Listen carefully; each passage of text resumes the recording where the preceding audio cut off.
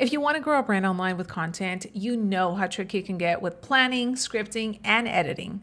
So let me show you how I use Descript to get all of this done. First, make sure that you have a script ready. I have mine on Google Docs. Next, I will open up my script, click on record, then camera. Here I am. You will go here to the bottom right next to record, and this is where I will be able to paste my entire script. Once I am ready to record, I just click on record and this will pretty much be a teleprompter. It gives me a countdown, three, two, one, and there you go. Once I'm done with this, I will stop the recording. Now this is what it's going to look like. This is a video that I just filmed with the script that I showed you. Now if I want to repurpose it into multiple clips, I'm gonna go to the AI tools, then create clips, then I'm gonna submit it and the AI is going to pull as many clips as possible so that I can repurpose them into shorts and reels.